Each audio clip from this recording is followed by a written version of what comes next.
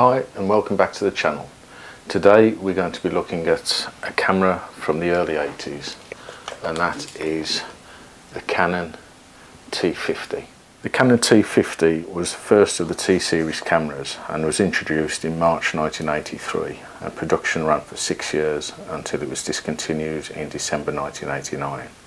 And it was quite a departure for Canon from its uh, typical um, designs of the 60s and 60s and 70s and it represented a change in the appearance of the cameras reflecting more of the de design of uh, 1980s and it's effectively replaced the Canon AE1 and the AL1. SLR cameras were taking a bit of a dip in the early 1980s from a sales peak in 1981 and with the T50 Canon went down the route of greater automa automation in order to revive sales and it certainly did so and the T50 was the first in the line of a T-series of cameras.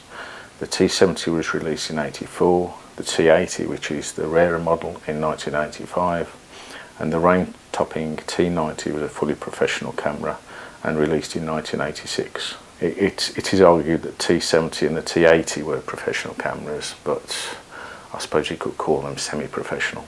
I actually purchased this camera new in 1985, believe it or not, in Tenerife and it was my first trip apart from school trips abroad and I bought this in Tenerife uh, along with this Canon 50mm f2 normally they came with uh, an f uh, 1.8 lens um, but it is quite a nice lens regardless uh, takes some nice pictures I used it for the holiday there and a few times in the mid 80s I actually bought this in 1985 and I used it to shoot I guess no more than 10 rolls and it's uh, sat in the cupboard since then and I've dug it out recently to take it and do some test shots which you'll see later on in the video. So let's have a look at uh, the camera in a little bit more detail. Um, first of all when you pick the camera up you can feel it's got quite a little bit of weight to it. Uh, not as heavy as some of the more modern cameras you get these days. Uh, and it weighs in at about uh, I think it's 490 grams which is around about a pound 1.1 pounds. And this camera will not work without batteries of which it takes two AA batteries.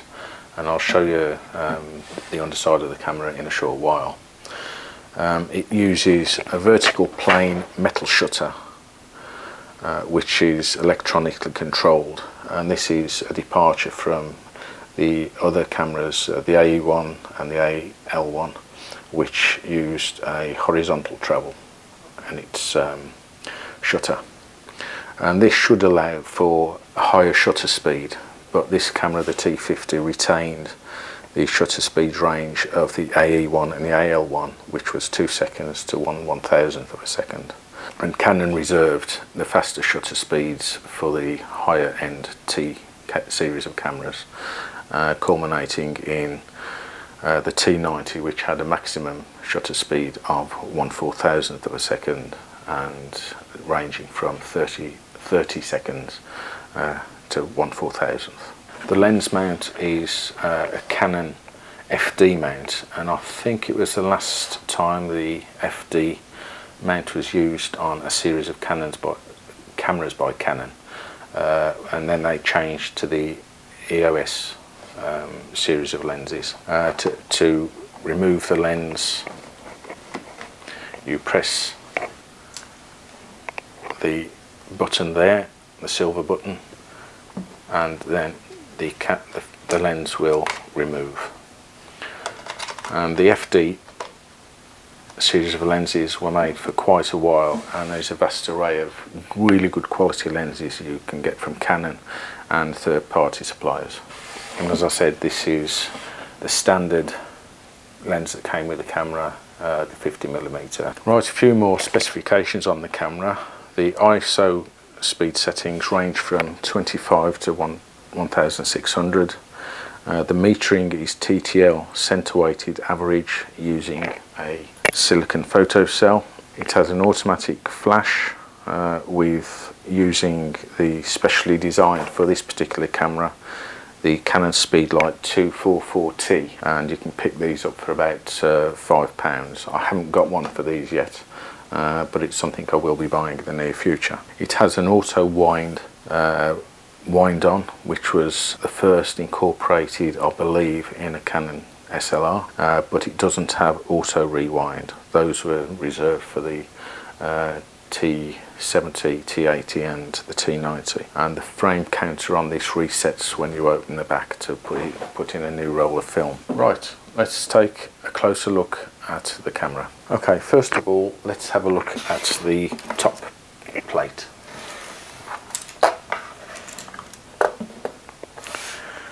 So here we have the uh, frame counter which I said automatically resets when you open the uh, film back. Uh, the, here is the taking button and it's a two-stage electromagnetic shutter button. Uh, depress halfway and that will tell you if your exposure is going to be okay or not and fully depress it uh, to take this shot. Here we have the function dial which has four settings. The first first one which is it is on at the moment is a red square and an L which shows you that the camera is locked and you cannot take a picture. And if we push the dial fully forward, which is not easy sometimes, we get a rapid beep which tells us that the batteries are in good condition. Third setting is program and that's all you need to do uh, to start taking photos. I'll go into a bit more detail on the program setting when we have a look at uh, how the camera functions. Uh, so the final is the self timer so we'll it beeps for seven seconds.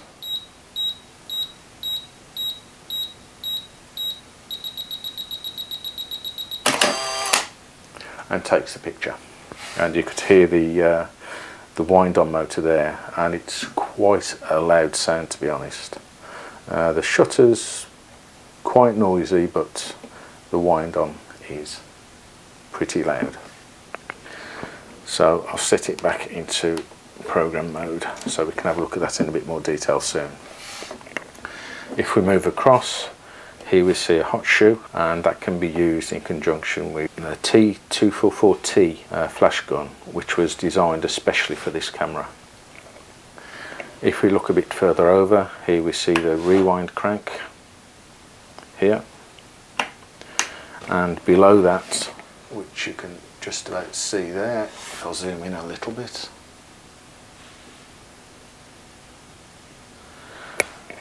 the uh, ISO setting.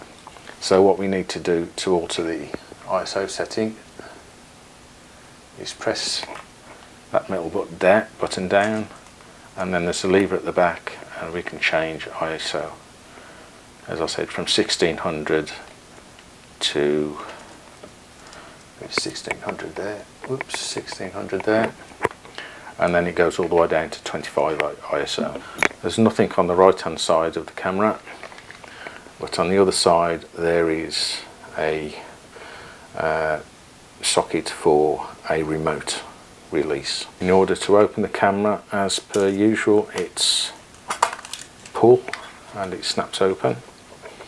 And then we can see the fast loading there. We obviously put the film in there just wind the film across line it up with a red mark. Close close the back and take it'll automatically wind the film on to the first frame. And there we can see the vertical metal shutter. Now on my version for some reason I don't know whether you can see it the between the second and the third metal um, sheet there is a tiny gap. Now I wasn't sure whether this was going to uh, affect the uh, taking of the pictures but it doesn't appear to. It's still light tight. Now it hasn't been mishandled or misused this camera and it's just been in storage since probably about 1988 1989 when was the, it was the last time I used this camera and I shot a first roll a couple of weeks ago since then and they seem to have come out all right. There, there is a little bit of light. I wouldn't call it light leak, um, but I'll show you photos later on. Uh, if we look at the back again, there is a removable eyepiece surround there. And let's have a look at the bottom of the camera and here you can see the tripod socket there. And that is the release to manually rewind uh, the film. And then we have the battery chamber here which is just a pull to release it. And there we go two AA batteries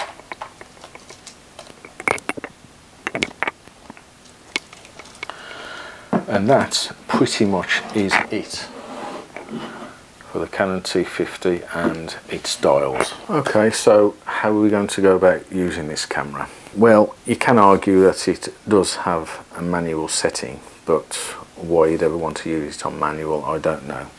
So if we did want to use it on manual, we would move, press the button next to the A and select your aperture.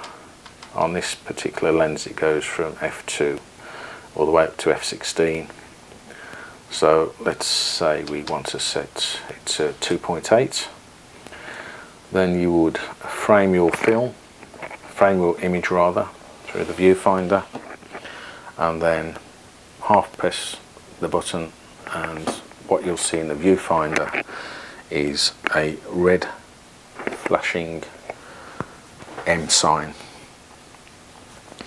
so what that will tell you is that you are in manual mode and the fastest shutter speed or the only shutter speed you're going to be taking at is one thirtieth of a second which happens to be the uh, flash sync speed as well. And that's it.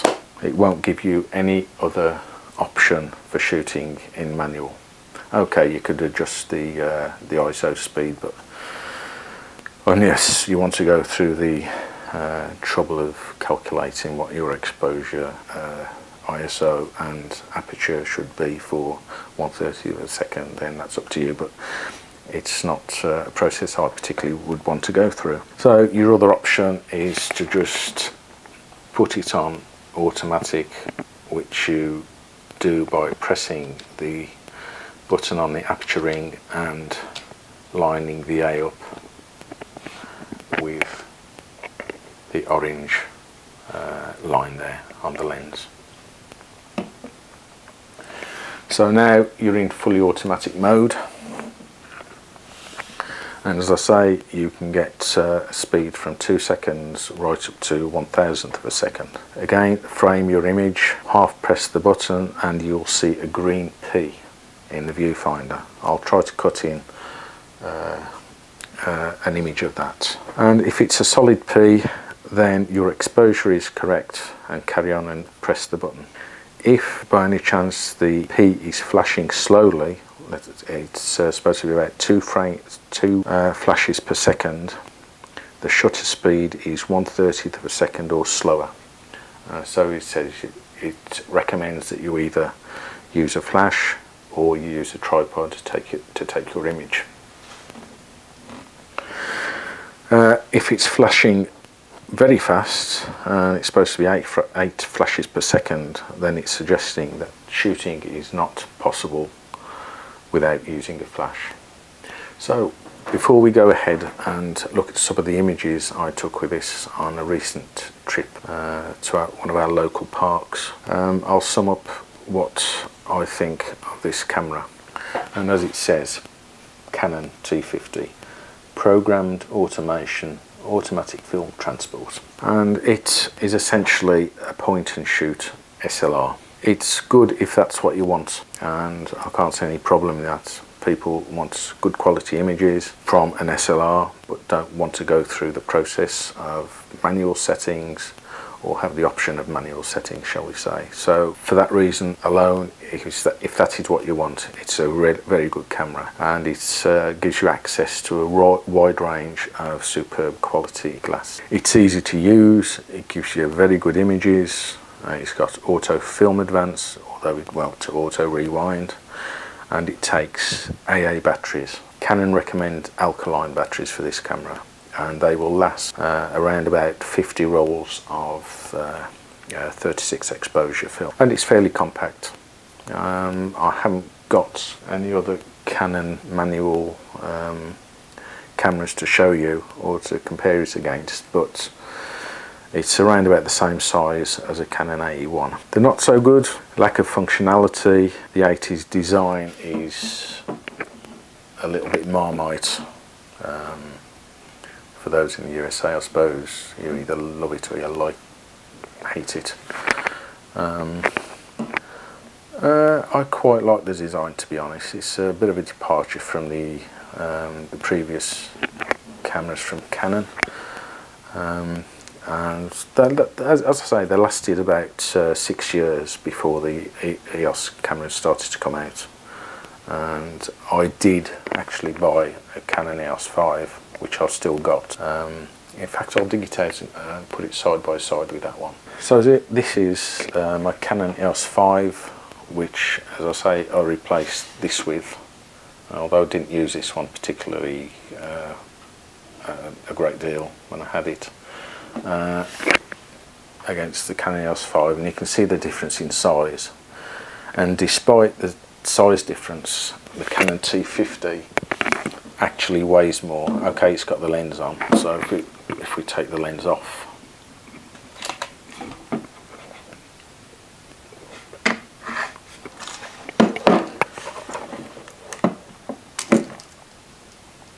So I would still say that the Canon T50 is heavier than the EOS 5. There's probably a lot more plastic in this one. This feels, I'm, I'm pretty sure it's mostly all metal, this one. Um, but again, just a comparison between the T50 T series and the newer EOS 5. So, all that said, I think we will now have a look at uh, some of the images.